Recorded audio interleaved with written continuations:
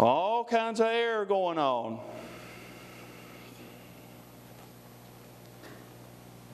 Amen.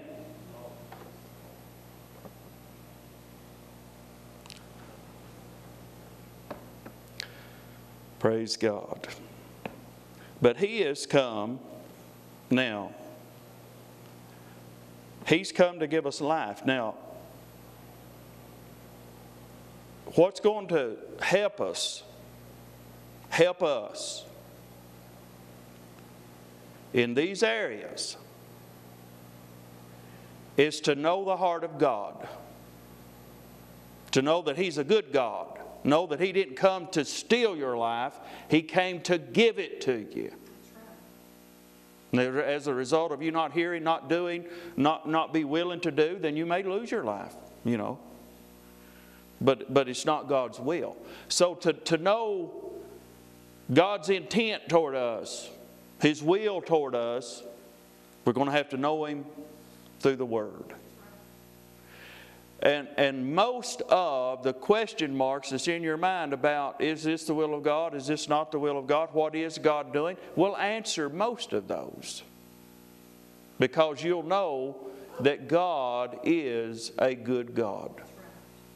And the devil is a bad devil. They've never been a sickness come upon a person from God to take their life. Now, they've been stuff come on people and took their life, but it wasn't, it wasn't from God. It was from the devil. Amen. Well, we're going to stop right here. Praise the Lord. If you don't know Jesus today, make him Lord of your life. How do I do that? I believe on him in my heart. And I want to tell you today, he died for you. He gave his life for you, that you can have life. If he's speaking to you today, wherever that you are, he loves you, He cares about you, and He wants to save you. He wants you to have eternal life. And the way that you be a part of that is to believe on the Lord Jesus. Believe what He's done. Believe that God gave Him. Believe that He died for you and believe that He rose again.